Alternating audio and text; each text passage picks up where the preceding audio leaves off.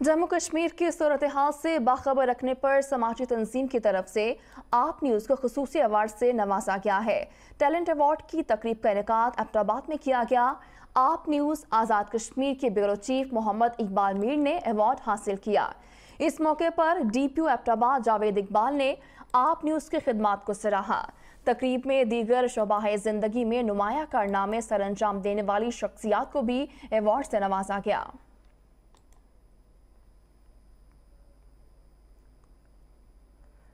और अब बात उस